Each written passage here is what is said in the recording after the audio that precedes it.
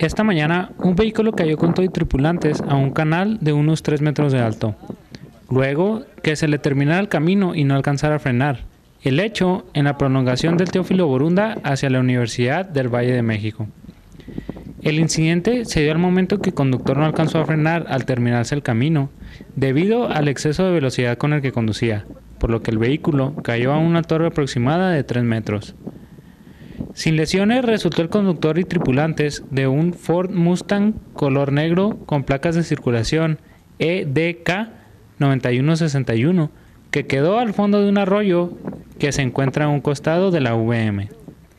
Al lugar acudieron elementos de la Dirección de Vialidad, quienes levantaron el reporte del incidente, además de llamar a una grúa para sacar el vehículo del canal. Informó TV Diario.